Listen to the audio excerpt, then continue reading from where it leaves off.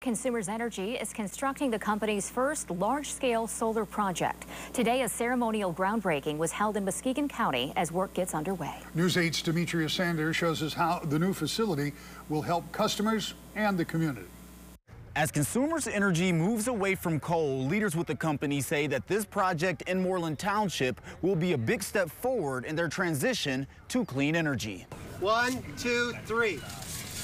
Shovels of dirt have been turned, marking construction of the Muskegon Solar Energy Center in Moorland Township. Really, really excited about the fact that this has all come to fruition now and has come to fruition with a state-of-the-art project. The solar energy farm is being built on 1,900 acres of land at the Muskegon County Resource Recovery Center. When completed, the 250 megawatt facility will generate enough electricity to power nearly 40,000 homes across the state. 30 to 35 years we'll have this facility. In fact, after 25 years, it'll still produce 80% of the power it produces on day one.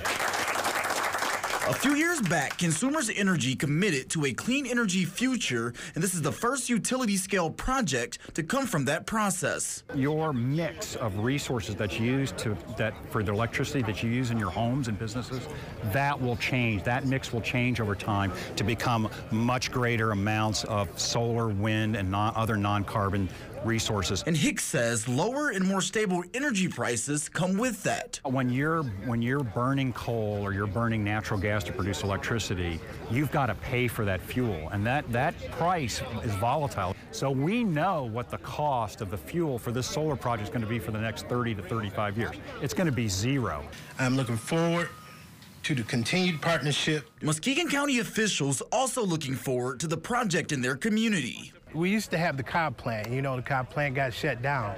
Well, this is an awesome replacement because now we're getting that energy source back. Nash says the county is leasing the property, which is usually used for crops to consumers. Payments from the utility company, as well as property taxes, is expected to bring in money. What we make in crops, we're, we're getting more than enough from them to take care of that expense so we're not losing anything and we're gaining a little bit of revenue on top of that. And with a goal to bring 8,000 megawatts of solar online by 2040, the project is the first of many.